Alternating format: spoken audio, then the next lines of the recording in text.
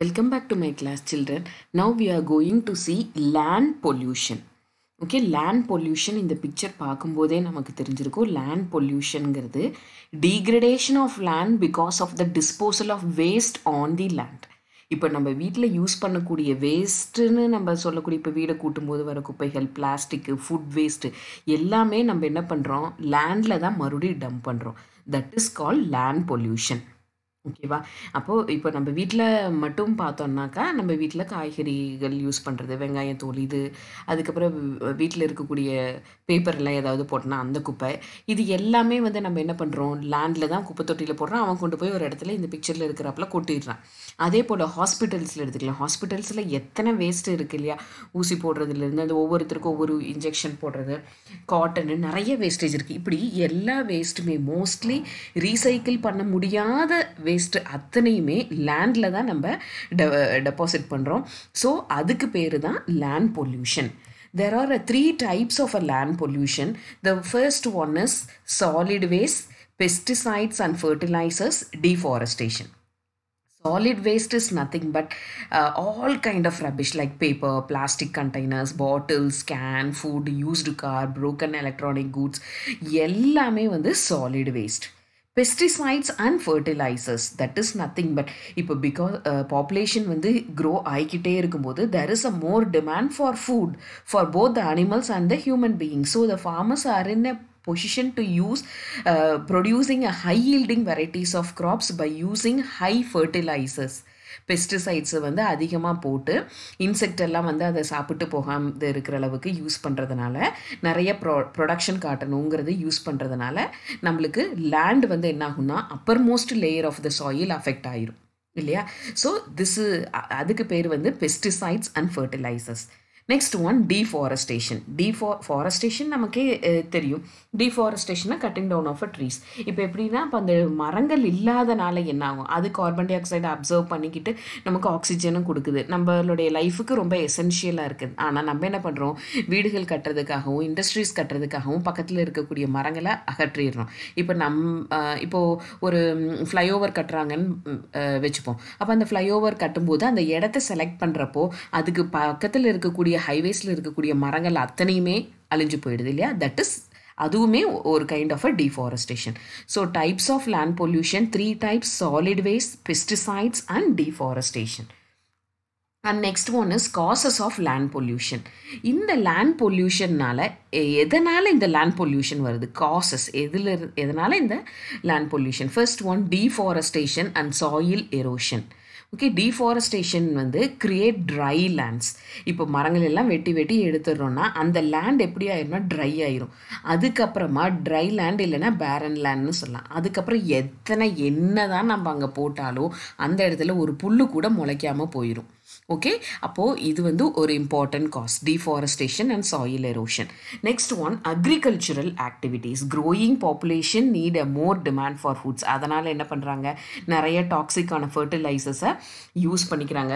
அப்போது over chemicals use பண்ணும்போது அது லேண்டோடைய ஃபர்டைலை குறைச்சிரும். இல்லையா? That is agricultural activities and next one mining activities இப்போ வந்து மைனிங் எக்ஸ்ட்ராக்ட் பண்ணுறதுக்காக என்ன பண்ணுறோம் lands land space are created beneath the surface ஆக்சுவலாக இருக்கிறத இடத்த விட்டு அப்படியே தோண்டி தோண்டியே எடுக்கிறோன்றது பேரில் என்ன பண்ணிடுறான்? நல்ல ஒரு பெரிய பள்ளமாகவே அது கிரியேட் ஆயிடுது. Mining activities next one landfills landfills is nothing but ஒவ்வொரு வருஷத்துக்கும் ஒரு வீட்டில் மட்டுமே பார்த்தா டன்ஸ் ஆஃப் கார்பேஜ் இருக்குன்னு சொல்கிறாங்க எல்லாமே சேர்த்தி plastic paper cloth wood hospital எல்லாமே. அப்போ ரீசைக்கிள் பண்ண முடியும். முடியாது எல்லாத்தையும் நம்ம லேண்டில் தான் திணிக்கிறோம் அதுக்கு பேர் landfills okay next one industrialization industrialization due to increasing consumerism more industries were developed which lead to deforestation அதே சமயத்தில் research and development pave the way for modern fertilizers and chemicals that are highly toxic and led to soil contamination நிறைய research and development இப்போ agri university கோயம்புத்தூரில் இருக்குது அதில் பார்க்கும்பொழுது என்னென்னா நிறைய அவங்க வந்து டாக் இது high yielding varieties of seeds எல்லாமே கொண்டு வராங்க. முதல்ல இப்போ தென்னை மரமே பார்த்துட்டோம்னா நல்லா வளர்ந்ததுக்கு அப்புறம் தான் நமக்கு காய் கொடுக்குற மாதிரி இருக்கும். ஆனால் இப்போல்லாம் வந்து திரு டூ இயர்ஸில் தென்னங்கன்று வச்சு ஒரு டூ இயர்ஸில் மாதத்துலேயே நமக்கு காய காய்க்க ஆரம்பிச்சிருது. அது கு சின்ன ரக மரங்களாக நம்ம நின்றுட்டே அப்படி பறிச்சிடுற மாதிரி இருக்குது ஆனால் அதோட life more than twenty years வரைக்கும் இருக்குது அப்போ என்ன நினைக்கிறேன்? போய் இருபது வருஷத்துக்கு மேலேயே நம்ம அந்த ம மரங்களை யூஸ் பண்ணிக்க போகிறோம் அப்படின்ட்டு அதை யூஸ் பண்ண ஆரம்பிக்கும் அது என்ன ஆகுதுன்னா கொஞ்ச நாள் ஆகும்போது சாயில் வந்து கண்டாமினேஷன் ஆகிடுதுன்னு சொல்கிறாங்க okay industrialization and next one is construction activities இப்போ ஏர்பனைசேஷன் ஆகும் பொழுது என்னாகும்? நிறைய கன்ஸ்ட்ரக்ஷன் uh, நடக்கும். அப்போ கன்ஸ்ட்ரக்ஷன் வேஸ்ட் எல்லாமே இங்கே ஃபில் பண்ணுறது nuclear waste left over radioactive materials harmful and toxic chemical effects human ஹெல்த்தை அஃபெக்ட் பண்ணுறது and effects of land pollution so causes of land பொல்யூஷன்னா இந்த ஒரு நாலஞ்சு பாயிண்ட் ஞாபகம் வச்சுக்கோ. Deforestation and soil erosion agricultural activities nuclear waste industrialization effects of land pollution இந்த land பொல்யூஷனால் என்ன இஃபெக்ட் ஆகுதுன்னா சாயில் பொல்யூஷன் இப்போது நிறைய ப்ரொடக்ஷன் பண்ணணுங்கிறதுக்காக கெமிக்கல்ஸு ஃபர்டிலைசர்ஸ் ரொம்ப அதிகமாக யூஸ் பண்ணும்போது என்ன ஆகும்னா நம்ம சாயில் வந்து டேமேஜ் ஆயிரும். அப்போ அதை நம்ம சாப்பிடும்போது என்னாகும்? அந்த ஃபுட்டையும் அந்த வெஜிடபிள்ஸையும் ஃப்ரூட்ஸையும் நமக்கு சாப்பிடும் பொழுது நிறைய ஸ்கின் டிசீசஸ் வரதுக்கு சான்சஸ் இருக்குது ஃபஸ்ட்டு சாயில் பொல்யூஷன் ஆகும். அதுக்கப்புறம் ஹெல்த் இம்பேக்ட் இருக்கும். அந்த ஸ்கின் டிசீசஸ் வரும்.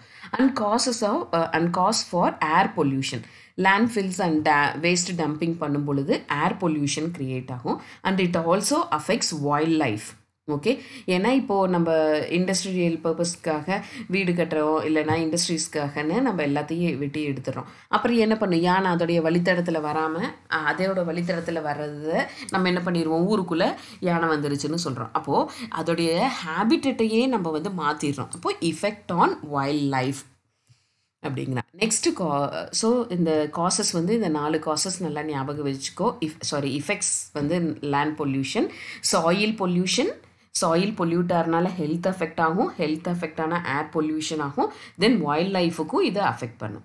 சரி இதை எப்படி நம்ம கண்ட்ரோல் பண்ணிக்கலாம்? What is the remedy பொல்யூஷன்னா three R that is reduce recycle reuse முடிஞ்ச அளவு குறைச்சி யூஸ் பண்ணணும். இல்லையா ரீசைக்கிள் பண்ண முடியணும். இல்லைனா reuse and buying biodegradable products minimizing the usage of pesticides and plastic plastic use பண்ணுறதும் பெஸ்டிசைட்ஸ் யூ யூஸ் பண்ணுறதையும் குறைச்சிக்கணும்னு சொல்கிறாங்க shifting cultivation and disposing unwanted care garbage properly okay சாயிலே போட்டு டம்ப் பண்ணாமல் ஒன்றா எரிக்கிறதோ அந்த மாதிரி பண்ணிட்டோன்னா கொஞ்சம் uh, கண்ட்ரோல் பண்ண முடியும்னு சொல்கிறாங்க தேங்க்யூ சில்ட்ரன்